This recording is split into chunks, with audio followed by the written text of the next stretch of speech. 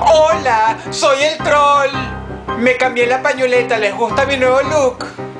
Bueno, les vengo a decir que Dross hizo un video muy malo, con un tipo de humor oscuro que yo desapruebo completamente. Porque a menos que nosotros lo usemos, el humor negro es ley.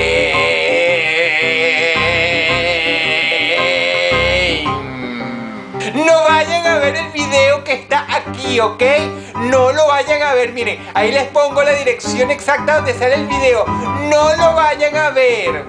Está prohibido. Los trolls lo prohibimos. Adiós. Y cuidado con lo que hacen, porque los estoy viendo.